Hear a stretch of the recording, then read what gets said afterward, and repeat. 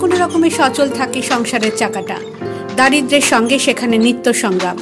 কিন্তু ইচ্ছে শক্তির কাছে যে বাকি সবই তুচ্ছ, সেই শক্তিতেই সবকিছুকে হার মানিয়ে ছেলের সঙ্গে উচ্চ মাধ্যমিক পরীক্ষায় বসবেন লতিকা মণ্ডল। শান্তিপুর, হরিপুর অঞ্চলের সর্দারপাড়ার বাসিন্দা লতিকা।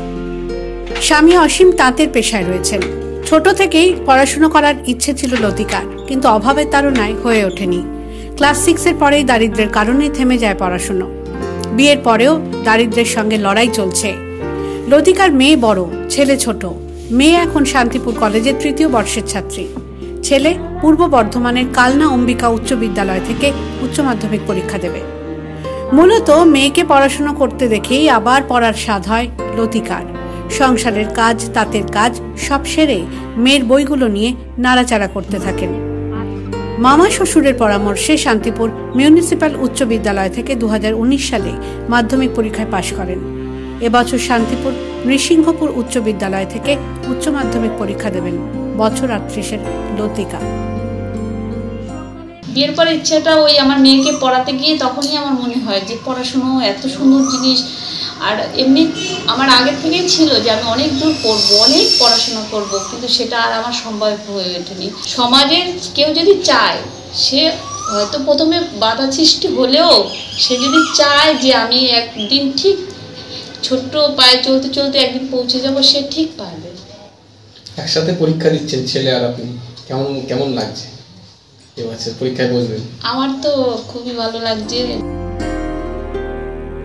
মাকে নিয়ে গর্বিত ছেলেও দুজনে মিলে এখন পরীক্ষার জন্য জোরদার প্রস্তুতি চালাচ্ছেন। মা কীভাবে ট্যাকেল দেয়? তোমাদের পড়াশোনা দিদির পড়াশোনা? যে পড়াশোনা কর ভালোভাবে বাঁচতে পারবি জীবনে। আর সব সময় পাশেই থাকে মা। কি বার্তা দেবে সমাজকে? সমাজকে বার্তা দেবে এই যে আমার মার মতো যে সবাই যাদের পড়াশোনার ইচ্ছা আছে তারাও যদি আমার মার মতো পড়াশোনা করতে পারে। পড়াশুনো করার অদম্য জেদটাই এগিয়ে দিচ্ছে লতিকাকে। এমন ছেলের বউয়ের জন্য গর্বিত লতিকার শ্বশুর মশাইও।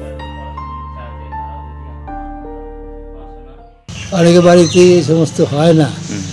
হয় না কাজে তারা ওই উৎসাহ কী করে হবে তারা তারা মনে অন্য অন্য ধান্দা থাকে। তাঁত বোনাবে সংসারের কাজকর্ম করে। তার মধ্যে যে পরীক্ষা দিচ্ছে এটা কত বড় সৌভাগ্যের কথা। হ্যাঁ। কতটা পাশে দাঁড়ান আপনারা সহযোগিতা করেন। হ্যাঁ অনেক সময় অনেক অনেকই করি সবই সহায়তা করি। তুমি ঠিক আছে পড়তে যাও। তোমার এই কাজটা করতে হবে না আমরা এই কাজটা করে দিচ্ছি। এরকম আমরা তাদের পাশে দাঁড়াচ্ছি।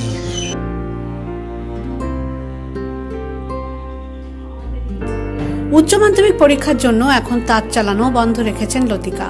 দিনের বেশিরভাগ সময়টাই কাটছে পড়াশুনো করে। পাশে পেয়েছেন স্বজন ও পড়শিদেরও।